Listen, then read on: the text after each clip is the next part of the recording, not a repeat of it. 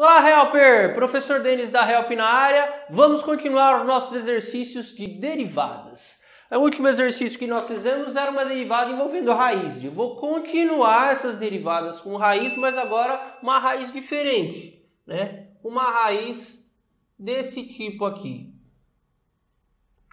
O que, que mudou agora? A raiz está no denominador, está na parte de baixo. E além disso, na nossa tabela não tem raiz, né? Lembra que na nossa tabela a gente tem potência, x elevado a alguma coisa, correto? Então, o primeiro passo que eu tenho a fazer aqui é transformar essa raiz em uma potência. E como nós vimos lá, lá na, playlist de pré-cálculo, lá na playlist de pré-cálculo, o que, que eu faço? Quem está no Sol, se aqui não tem nada é 2, certo? Ele está no Sol, vai para a sombra. Quem está na sombra vai para o Sol. Beleza? Transformei em potência. Posso derivar? Não pode derivar, meu parceiro, não pode, porque isso aqui não tem nada a ver com isso aqui. Essa potência está no numerador. Esta aqui está no denominador. Este está em cima, este está embaixo. Então, o que você tem que fazer? Você tem que passar essa potência para cima.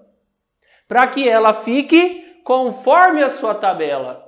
Ela tem que estar de acordo com a sua tabela. A sua tabela fala: olha, a potência tem que estar em cima, não tem que estar embaixo. Ah, mas eu quero, não quer. Você não tem que querer, parceiro. A tabela fala em cima. Aqui está embaixo. Você tem que deixar de acordo com a tabela. Então é isso que a gente vai fazer. A gente vai passar isso aqui para cima. E como que eu faço para passar para cima? Quando a gente passa uma potência para cima ou para baixo, quando a gente troca de lugar, o que muda? Muda o expoente da potência. Aqui o expoente está positivo, ele veio para cima, ficou negativo.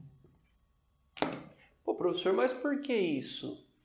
Porque se é assim. Não, não tem nada porque é assim. Tem nada porque é assim. Olha lá na playlist de radiciação que eu explico por que, que isso acontece. Eu provo por que, que isso acontece.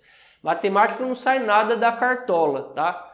Tudo tem um porquê. Inclusive, se você está com dificuldade em qualquer parte da matemática, eu vou deixar um link aqui embaixo para alguns cursos gratuitos.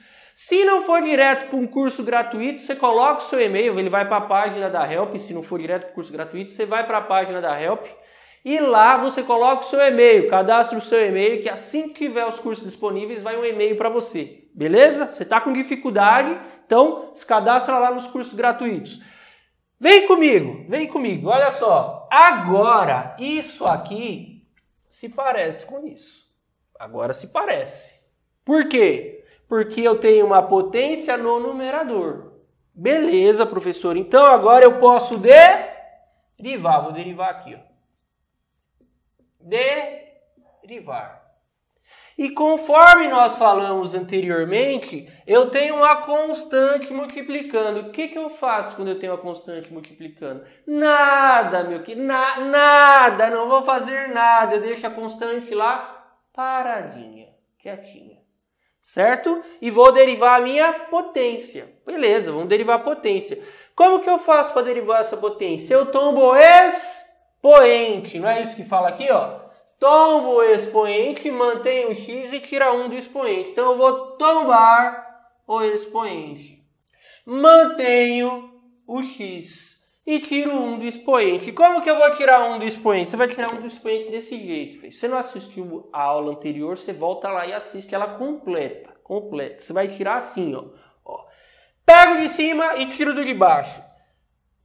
Qual o valor do de cima? Menos 3, certo?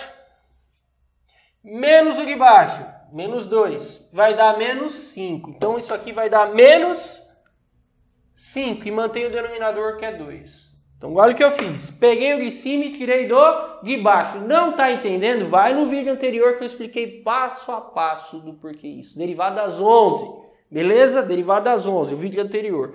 Então, ó, pego de cima, tiro do de baixo e mantenho o denominador. Fica muito mais fácil do que você fazer assim, ó. você teria que fazer assim, 3 meios, menos 3 meios, menos 1.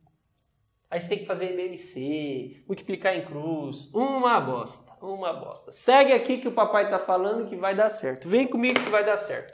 Aí, agora a gente vai ajeitar para ficar bonitinho, ó. Vou ajeitar. 7 vezes menos 3, menos 21. Mantém o denominador que é 2. Certo? Tá com expoente negativo. Ok? Eu vou deixar ele com expoente positivo. Como que eu faço para deixar com expoente positivo? Passo para baixo, x elevado a 5 sobre 2. Ok, mas eu quero deixar mais bonitinho. Como mais bonitinho? Está em forma de potência, eu vou passar para a raiz. Beleza? Quem está no sol vai para sombra. Quem está na sombra vai para o sol. Sou obrigado a deixar esse 2 aqui? Não, não sou obrigado. Tá derivado, tá tudo bacana. E aí você pode estar tá se perguntando assim, professor, mas Aqui, neste passo aqui, ó, neste passo já estava derivado? Sim, aluno, já estava derivado. E neste passo também estava derivado. E aqui também está derivado. Então, por que você fez isso, professor? Porque 99,9 dos professores fazem, fazem o seguinte, o cara faz assim, ele põe a questão assim. Derive e simplifique que dei a questão em raiz, eu quero a resposta com raiz. Então você tem que saber fazer essas transformações. Tem que saber transformar de raiz para potência, de potência para raiz. Tenho que aprender a simplificar o máximo possível. Inclusive, isso aqui, se eu quiser simplificar mais, ficaria assim, ó. 2x ao quadrado raiz de x tirei x a quarta para fora. Para mim, aqui já estaria suficiente. Já estaria suficiente, mas vai depender de uma coisa, depende do nível de maldade do seu professor. E aí, isso é só você e ele que vai saber, belezinha? Só vocês dois. Mas ó, entenda, isso aqui está derivado, isso aqui está derivado, isso aqui também está derivado, isso aqui também está derivado. Qualquer um desses é uma resposta correta a resposta está correta. Agora, seu professor pode exigir mais simplificado, pode exigir que a resposta esteja com raiz, aí é uma exigência do seu professor, tá bom? Espero que você tenha compreendido aí. Não esqueça de comentar e de compartilhar com seus colegas. Um grande abraço e até o próximo vídeo.